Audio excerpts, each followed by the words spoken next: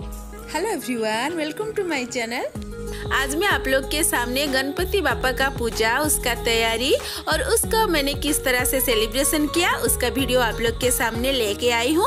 ये जो सेलिब्रेशन है मेरा, बहुत ही सिंपल तरीके से मैंने इस सेलिब्रेशन को किया है।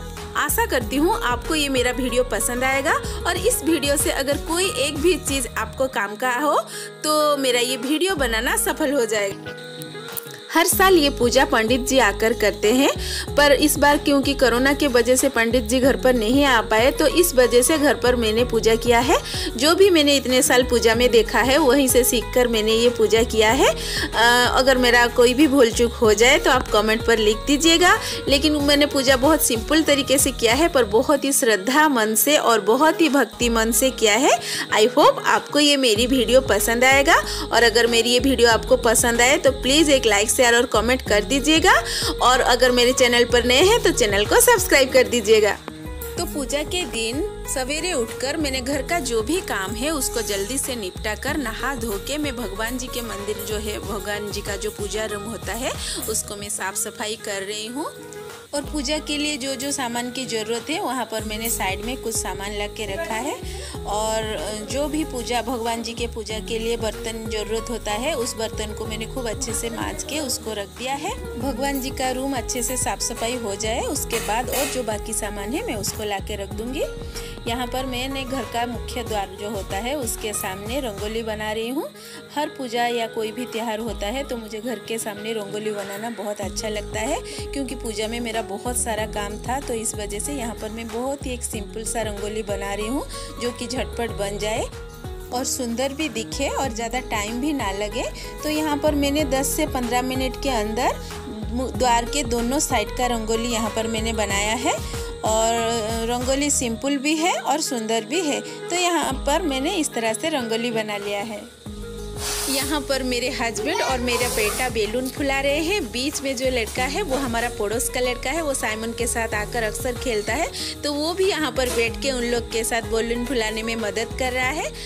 कोई भी पूजा हो या कोई खास त्यौहार हो, घर का अगर डेकोरेशन ना हो तो अच्छा नहीं लगता है। तो ये लोग यहाँ पर बेलून फुला रहे हैं पूजा के दिन डेकोरेशन करने के लिए और साथ में बहुत मस्ती भी साइमन कर रहा है। ये लोग खूब एंजॉय करके यहाँ पर बेलून फुला रहे हैं। और यहाँ पर साइमन के पापा भगवान जी के रूम में भी बेलून लगा रहे हैं। वो अक्सर मेरे पूजा में बहुत सारे मदद कर देते हैं उनसे जो हो पाए। और यहाँ पर वो अपने जितना उनसे हो पाए, वो यहाँ पर डेकोरेशन किए हैं। घर का मुख्य द्वार में भी उन्होंने थोड़ा सा डेकोरेशन किया है। क्योंकि कोरोना के वजह से हम लोग ने ज़्यादा शॉपिंग नहीं किया। जो भी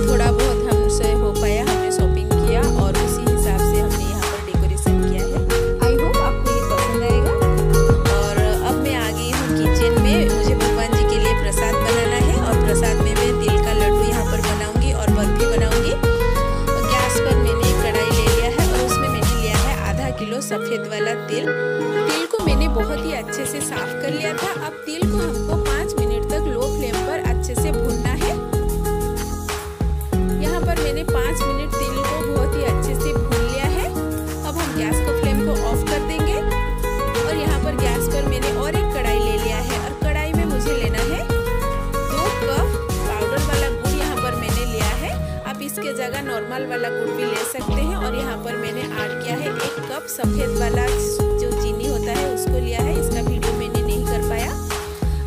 सारे चीज़ों को मैंने दो चम्मच पानी डालकर यहाँ पर खूब अच्छे से पिघला लेना है। इसको हमको लो फ्लेम पर करना है और कुछ टाइम पकाने के बाद गुड़ जो है हमारा कुछ इस तरह से दिखने लगेगा। उस टाइम पर हमको एक कटोरी में थोड़ा सा पानी लेना है और पानी के अंदर गुड़ को कुछ ड्रॉप डालना है और उसके बाद जब ये इस तरह से हो जाए तो इसका मतलब ये बाइंडिंग हो जाएगा।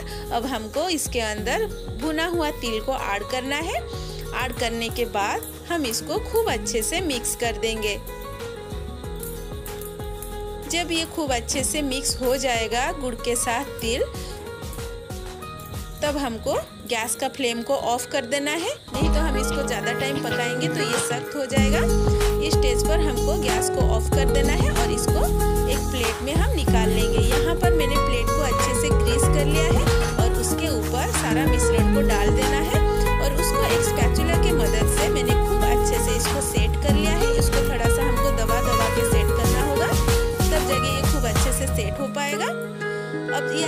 सेट हो गया है। अब जब ये गरम गरम ही है, तभी हमको इसको कट कर लेना है।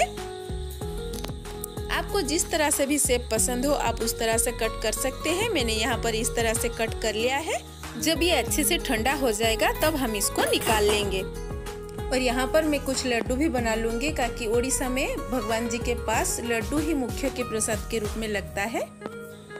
तिल का लड्डू बनाते समय अगर आपको इस तरह से लगे कि जो मिश्रण है वो सख्त हो गया है तो उस स्टेज पर आप उसमें दो से तीन चम्मच पानी ऐड करके उसको हल्का सा गर्म कर लीजिएगा तो ये लड्डू बनाने के लिए पूरा फिर से तैयार हो जाएगा। तो यहाँ पर मैंने लड्डू और बर्फ़ी बना लिया है।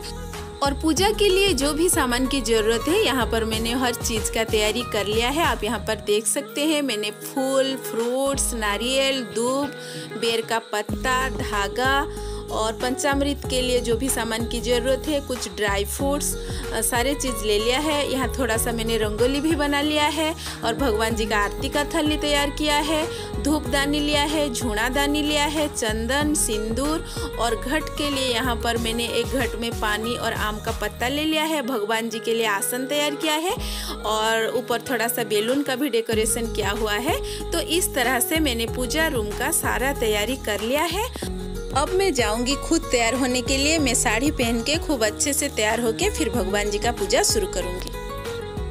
का कि पूजा के सारे तैयारी अच्छे से हो जाए तो उसके बाद मैं शांति मन से बैठकर पूजा कर पाऊँगी। इसीलिए मैंने पूजा घर का पूरा तैयारी कर लिया है।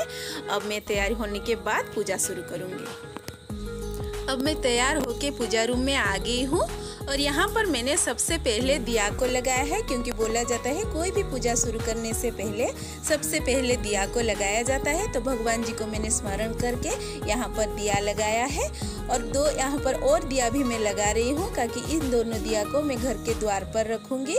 जब भी मैं कोई पूजा करती हूँ तो सबसे पहले मैं उसके द्वार पर भी दो दिया लगाती हूँ तो मुझे इसे बहुत अच्छा लगता है।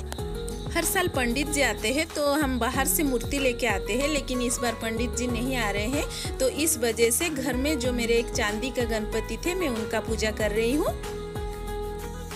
तो यहाँ पर मैं मुख्य द्वार पर दो दिया रख रही हूँ। मैंने दोनों द्वार के सामने रंगोली भी बनाया है। और यहाँ पर मैंने एक छोटा सा कलश रखा है, जिसके ऊपर मैंने फूल रखा है। मैं रोज पूजा करने से पहले घर के मुख्य द्वार के सामने ये छोटा सा कलश रखती हूँ, फिर पूजा करती हूँ। कोई भी खास पूजा होता है तो मुझे घर का मुख्य द्वार को सजाना बहुत अच्छा लगता है। मुझसे जो हो पाए, मैं उस तरह से सजाती हूँ। और अब मैं पूजा के रूम में आ गई हूँ और शंख फूंक कर मैं यहाँ पर पूजा शुरू कर रही हूँ। भगवान जी को माला अर्पित कर रही हूँ। और साथ में यहाँ पर मैंने सिंदूर दूध फूल ये सब भगवान जी के पास चढ़ाया है और एक सुपारी और पैसा लेके उसको माथे पे में लगा के अपना मनोस्कामना बोल के यहाँ पर मैं एक तंबा का पात्री बोलते हैं जो उसके ऊपर रख के उसको भगवान जी के पास में रख दिया है और उसमें थोड़ा सा जल चढ़ाया है और उसके ऊपर सिंदूर, फूल और चावल भी रखा है और उसको हाथ में लेके हम संकल्प करेंगे और यहाँ पर मैं भगवान जी का एक वंदना गा रही हूँ। वक्रतुण्ड महाकाय सूर्यकोटिसमप्रभ। निर्विघ्नं कुरु मे देव सर्वकार्येषु सर्वदा। यहाँ पर मुझे इस तरह से जितना भी गणपति का वंदना आता है, मैंने सारे वंदना यहाँ पर भगवान जी के पास गाया है। और यहाँ पर मैंने प्रसाद के लिए कुछ फ्रूट्स काट कर रखा है। उसको हम प्रसाद लगाएँगे। और साथ में हमारा यहाँ जो भी बच्चे पढ़ाई लिखाई करते हैं, उनका बुक्स भगवान गणेश के पास पूजा करने का विधि है। तो मैं यहाँ पर एक बुक को पूजा कर रही हूँ। मेरा बेटा का ये बुक है। उसको पूजा कर ले रही हूँ मैं। इस तरह से यहाँ पर मैं बुक के साथ साथ भगवान जी का भी थोड़ा सा पूजा कर ले रही हूँ। और अब हम तीनों हाथ में तंबा पात्र लेकर एक साथ संकल्प कर रहे हैं और संकल्पा पानी मैंने यहाँ पर थोड़ा सा घट के ऊपर और भगवान के ऊपर दिया है। अब मैं नारियल फोड़ रही हूँ, नारियल फोड़ के उसका पानी चारों तरफ़ दे रही हूँ। अब हम तीनों यहाँ पर भगवान जी के पास पुष्पांजलि दे रहे हैं। उसके बाद मैं यहाँ पर भगवान जी का और एक वंदना गाकर भगवान जी के पास झूणा दानी पे झूणा दे रही हूँ। अब हम तीनों मिलकर भगवान जी का वंदना गा रहे हैं।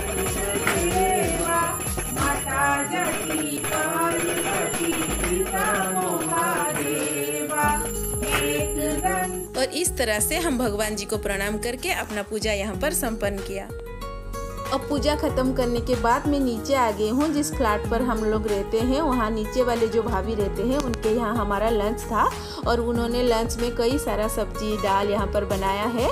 जो कि बहुत सारे सिंपल सा रेसिपी उन्होंने बनाए हैं क्योंकि व्रत के बाद ज़्यादा रिच खाना पसंद नहीं आता है तो उन्होंने बहुत ही सिंपल और टेस्टी खाना यहाँ पर बनाया है। तो हम दोनों यहाँ पर डाइनिंग टेबल के ऊपर प्लेट में खाना सर्व कर रहे हैं। हम लोग अक्सर इस तरह से मिलजुल के काफ़ी टाइम इस तरह से खाना खाना पसंद करते हैं, और मुझे बहुत अच्छा लगता है इस तरह से सब लोग के साथ मिलजुल के बैठ कर खाना खाने के लिए, और पूजा हो तो और भी अच्छा लगता है। भाभी ने पूरा खाना उनकी मेड की मदद से बनाया है और मैं बोली थी उनको मैं हेल्प करूँगी, लेकिन मेरा पूजा के लिए काफ़ी टाइम निकल गया तो इस वजह से मैं नीचे उनको हेल्प करने के लिए नहीं आ पाई अब मैं सर्व करने में उनका हेल्प कर रही हूँ। अब साइमन यहाँ पर बैठ के अपनी पापा और एक भाई और अंकल लोग के साथ अपना मील एंजॉय कर रहा है। पहले जेंट्स लोगों का खाना हो जाएगा तो फिर हम लोग भी बैठ के खाएँगे। अब हम लोग ने भी यहाँ पर खाना खाने के लिए बैठ गए हैं और हम लोग सब बहुत ही अच्छे से बात करके, बहुत ही ज़्यादा एंजॉय करके यहाँ पर अपना मील एंजॉय कर रहे हैं। और मुझे इस तरह से बहुत अच्छा लगता है सबके साथ बैठ के खाना खाने में। इस तरह से एक बहुत ही सिंपल पूजा सेलिब्रेशन मेरा था। आई होप आप लोग को मेरा ये वीडियो पसंद आया होगा। और अगर मेरे वीडियो आपको पसंद आया हो तो प्लीज़ एक लाइक शेयर और कमेंट कर दीजिएगा। और मेरे चैनल पर आप नए हैं तो मेरे चैनल को सब्सक्राइब कर दीजिएगा। Bye bye love you all